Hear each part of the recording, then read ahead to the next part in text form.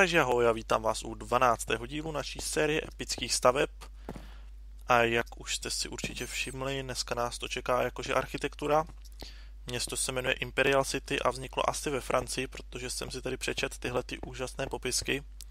Takže vítejte v Imperial City a píšou tady něco taky o tom, že ze 70% je hotový interiér, exteriér a z 25% je hotový interiér vytvořeno ve Francii a máte se podívat i na YouTube kanál autorů, takže ten rozhodně dám do popisku videa stejně jako odkaz na stažení téhleté úžasné mapy, kterou já jsem osobně teda ještě neprošel, takže bude to pro mě premiéra stejně tak jako pro vás. A spavnete se tady na té ločce, nevím, jestli je to něco zajímavého. Asi ne, ale máme Creative Mod, takže se tady po té mapě můžeme proletět. Vůbec nevím, jak je veliká, ale podle obrázku, které jsem viděl, tak je naprosto obrovská. A je tady spousta úžasných budov, parků, různých věcí a naprosto fantastická mapa. A rozhodně patří do naší série, takže proto jsem ji vybral.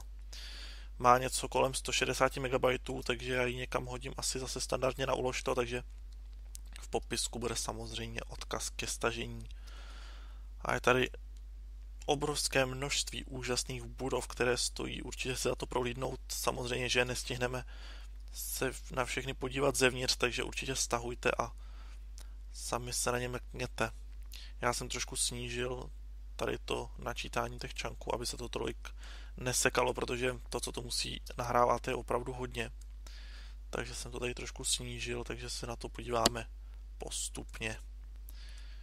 Co pak to je tady? Nějaký popisek? Co? Doleva? Furt doleva? Doleva? Jako kudy? Tam se jako nedá dostat? Nebo jako dá?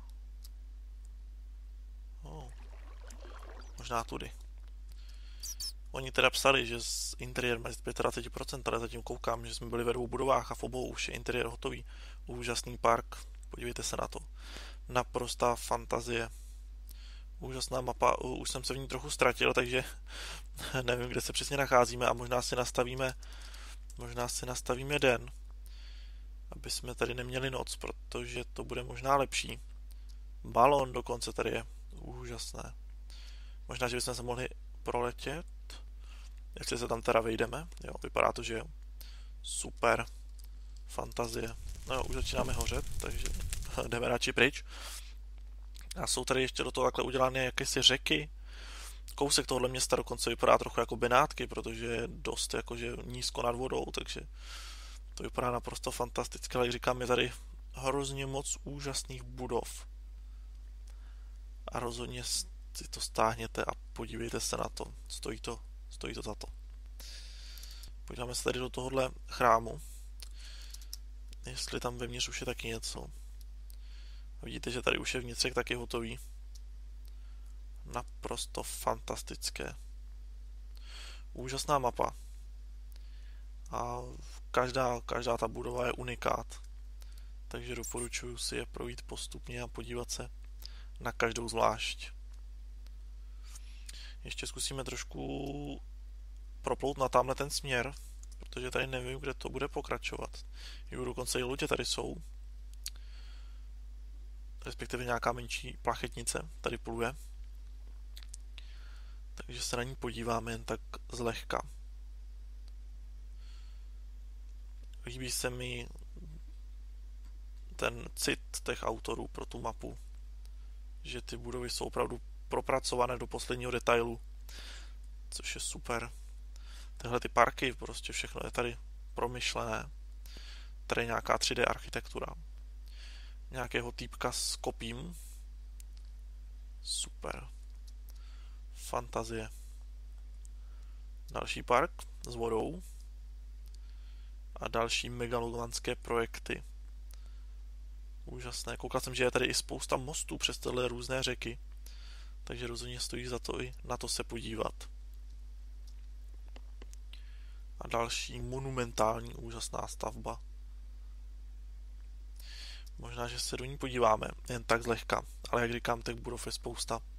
Nemůžeme se podívat všude. často v komentářích hejtujete, že občas rozbiju nějakou kostičku, takže za to se omlouvám a budu se snažit neníčit stavby. Ale hold, občas prostě jsem si potřeboval udělat cestičku někde. Takže tak. Úžasná stavba. Úplně mě fascinuje ta velikost, že někdo prostě poskládá v úzovkách kostičku po kostičce. A že prostě to není jenom jedna budova, ale že je tady prostě x desítek. Ale každá je unikátní. No. To je na tomto úžasný. Myslím si, že tamhle jsme začali asi. Takže zkusíme tady za těma budova nějakým, budovama nějakým způsobem proletět a podívat se dál. Ale abychom zbytečně tenhle ten díl nenatahovali, abych vás tady nezdržoval. Tohle se mi třeba líbí osobně. Moc pěkná budova. Jo, a tady je nějaké náměstíčko. Fantasticky to vypadá. Úplně úžasná mapa. Ještě se podíváme kousek tady. Jestli tady bude ještě něco zajímavého. Nějaké hradby, nějaké opevnění, nějaká vesnička tady uprostřed. Super. No možná se vrátíme na tohle náměstíčko, protože to se mi hrozně moc líbí. A 12. díl našich epických staveb zakončíme právě tady. Já doufám, že se vám 12 líbila. A díky za odběr, díky za like a díky za komentáře. A samozřejmě stahujte a rozhodně se podívejte na tuhle úžasnou, krásnou mapu. Takže si mějte fanfárově a čau čau.